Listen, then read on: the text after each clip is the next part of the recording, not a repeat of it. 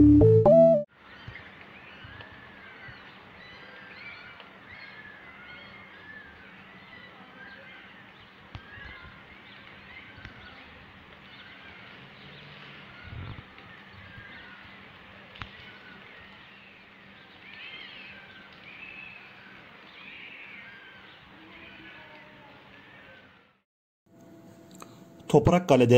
yeni doğan köpek yavrularına mahalle sakinleri tarafından yardım eli uzatıldı.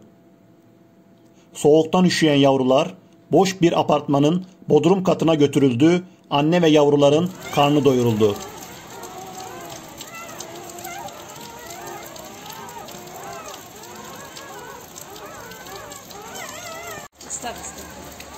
Ama Bir tanesi az daha öte köşeye çek. Yok burayı yap. Yarısının üstünü ört. Sen çok doğruyor ya. Kameraya mı çekiyorsun? Ona göre konuşalım.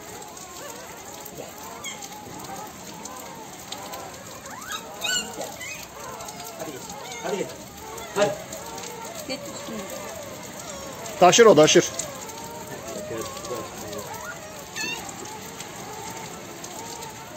Kaç tane doğurmuş ya? 10 tane bir ölmüş. Geçen de 13 doğurdu. Bir, se iki, bir buçuk sene. Bir, bir de yem vermek lazım. Ömer Bey yavruları taşıdınız yağmur yağıyor. Evet komşum. Yazık günah. Nasıl oldu bir anlatsana bir nasıl yaptı nasıl gördünüz? Garajın yanına çalların içinde bu- buzlamış. Yağmurda çığırıyorlardı. Pencereden baktım vicdanım el vermedi. Komşum. Yazık günah getirdik buraya. Bir de süt vermek lazım.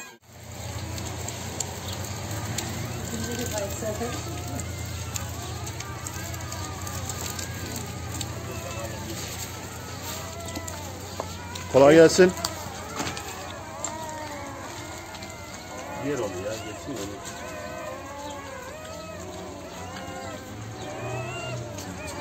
Merhaba